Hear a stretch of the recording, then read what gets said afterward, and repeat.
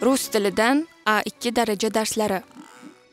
Assalomu alaykum barchaga sizlar bilan yana men Zamira. Всем здравствуйте, с вами снова я Замира.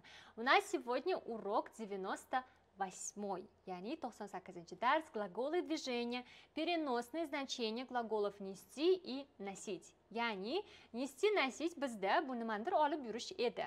Lekin undan tashqari ma'nolari ham bor. Bugun biz shularni ko'rib chiqamiz. Undan oldin eslatib o'taman.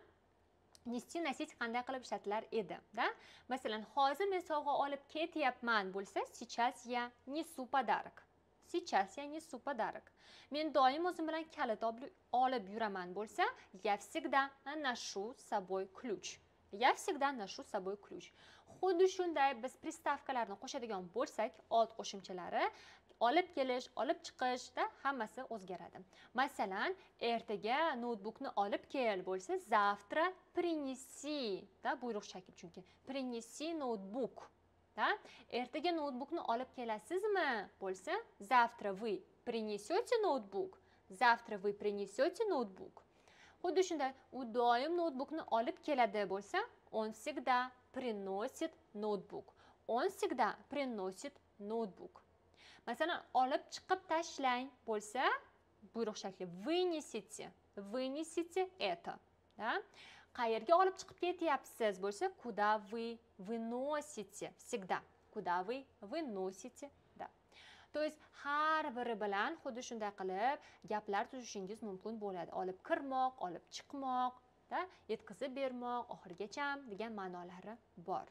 Xuddi shunday приставка предлогlar bilan kelishi mumkin. Masalan olib kelmoq принести qayerdan deyishimiz mumkin va qayerga deyishimiz mumkinda принести qayerdan откуда bo'lsa с работы. Ishdan olib keldim я принесла с работы. Я принесла из школы. Deb ishlatishingiz mumkin ya'ni har bir приставка bilan qandaydir o'zining предлога kelishi mumkin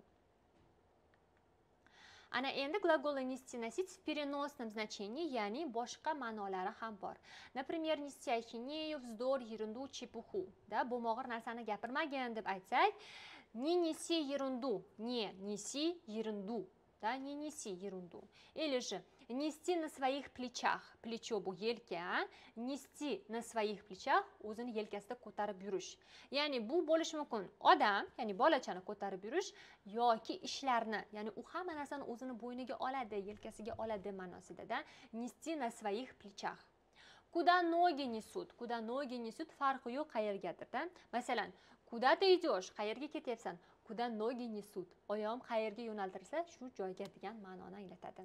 Носить имя или же фамилию ya'ni o'sha ism yoki familiyani э, olib yurish. Masalan я ношу фамилию мужа ya'ni men o'sha э, turmush o'rtog'imning familiyasidaman degan ma'noni anglatadi. Undan tashqari нести носить. Kostyum очки, да носить kostyum или же очки. Bu o'sha kostyum yoki ochkini ko'zoynakni taqib yurish shunda yurish ma'nosida например он носит очки. U ko'zoynak taqadi ya'ni o'shanda yuradi degan ma'noda он носит рубашку. U ko'ylak yuradi ko'ylakda yuradi ma'nosini anglatadi. Носить на руках bu qo'lida ko'tarib yurishda носить на руках ya'ni bizda boshida ko'tarib yuradi deb aytamiz o'zbek tilida. Rus tilida носить на руках ну на голове может быть. Носить на руках bu aynan nimanidir olib yurish qo'lida bo'lishi mumkin yoki boshqacha ma'nosi qo'lida ko'tarib yurish. Например он носит на руках ее да он носит на руках ее носить маску маска taqib yurish. Да, маска, носить маску, носить одежду какую-то, очки, костюм и так далее. Ya'ni kiyimga nisbatan ham bemalol nasitni ishlatsak bo'ladi. Undan tashqari mana shu. Он или она носит джинсы, очки. Hadis bor edi. Bundan oldingi darsimizda biz sizlar bilan hadisni ko'rgan edik. Hadis в джинсах edi. Джинсах chunki hadis в чем предложенный падеж. Nimada yurish. Masalan u nimada keldi? В чем он пришел он пришел в рубашке. U ko'ylakda keldi. A носить рубашку bu ko'ylakda yuradi. Keldi emas aynan просто kiyib yuradi ma'nosida. Он носит очки bo'lsa u ochki taqib yuradi. Ochkida keldi emas aynan ochki taqib yuradi ma'nosini anglatadi. Следующий у нас вынести выносить. Например я не выношу этого человека ya'ni men bu odamga chidolmayman вынести выносить o'zi olib chiqib tashlash lekin bu yerda aynan chida olmayman degan ma'noda. Он не выносит трудности u qiyinchilikka chidamaydi ya'ni chida olmaslik я не выношу этот запах. Ya'ni bu o'sha qandaydir hidni chida olmayman bu hidga он не выносит трудности u qiyinchilikka chidamaydi e'tiborli bo'ling eslab qoling ya'ni вынести выносить. Nafaqat narsani olib chiqib tashlash balki nimadirga chida olmaslik ma'nosi ham bor следующий отнестись относиться. E'tiborli bo'ling nestiga biz o'tni qo'shdik va oxirida salarni ham qo'shdik sa yoki sa отнестись относиться bu munosabat bildirish отношение да? Отношение bu munosabat отнестись к человеку ya'ni odamga bo'lgan munosabatni bildirish yoki предложению qandaydir taklifga к событию qandaydir hodisaga как он отнесся к вашему предложению да? Ya'ni sizni taklifingizga u qanday qaradi qanday munosabat bildirdi я хорошо отношусь к этому человеку ya'ni men bu odamga yaxshi munosabatdaman отношусь bo'lib o'zgardi ya'ni bularni siz zamonlarda tuslab to'g'irlab yozib olishingiz kerak bo'ladi o'tgan zamonda hozirgi va kelasi zamonda да? Как вы относитесь к этому человеку? Как вы относитесь к этому человеку?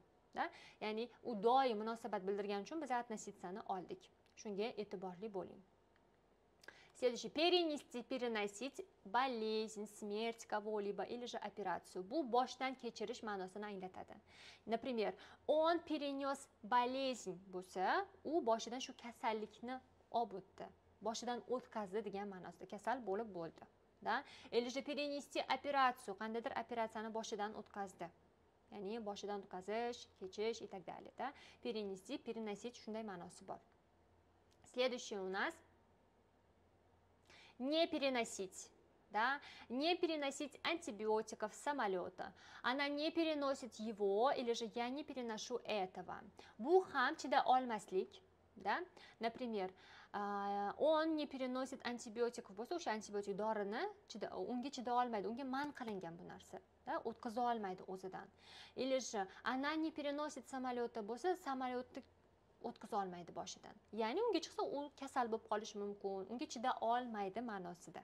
Не переносить bu nimadirga chida olmaslik yoki o'sha organizmi qabul qilmaydi yoki nimadir. Следующий снести, сносить дом, здание или же сломать, ya'ni buzish ma'nosida. Biz aytamiz, o'sha uy snosga tushibdi deymiz. Snosga tushdi, ya'ni o'sha сноситьdan olingan. бу bu buzish degan да? Этот дом снесут bo'lsa, bu uyni buzishadi, снесут, olib tashlashadi да? Сломать buzmoq ma'nosida. да? Э, этот дом уже снесли, buzib bo'lishdi, снесли. Ya'ni o'tgan zamon qilasiz. Снести сносить bu buzmoq ma'nosi e, buzmoq ma'nosi ham bor. Принести приносить пользу или же вред ya'ni foyda olib kelish yoki zarar olib kelish. O'zi принести приносить nimanidir olib kelish bunda mana пользу foyda вред zarar да например это принесет тебе пользу или же наоборот вред внести вносить деньги bu pul kiritish. Внести или же вносить деньги pul kiritish ma'nolari ham bor. Bugungi darsimizda biz sizlar bilan нести носитьni boshqa переносное значение ya'ni nafaqat narsani olib yurish balki boshqa ma'nolarini ham ko'rib chiqdik. Albatta har birini yozib oling har birini yodlang va o'zingizni misolingizni albatta yozing. Izohlarda yozib qoldirsangiz undanda yaxshi bo'ladi. Agar tushunmay qolgan joyingiz bo'lsa bemalol izohlarda yozishingiz mumkin. Сегодня мы с вами прошли глаголы нести носить в переносном значении то есть не только мы что-то носим с собой но и другие значения есть. Обязательно каждый глагол запишите. Запишите пример, и это все можете написать в комментариях. Если вдруг вам что-то непонятно, обязательно пишите в комментариях. Напоминаю, у нас есть телеграм-канал Руссаля и брат. Ya'ni bizning kanalimiz ham bor, bunga ulansangiz bo'ladi. До скорой встречи, всем пока-пока. Ko'rishguncha hammaga xayr.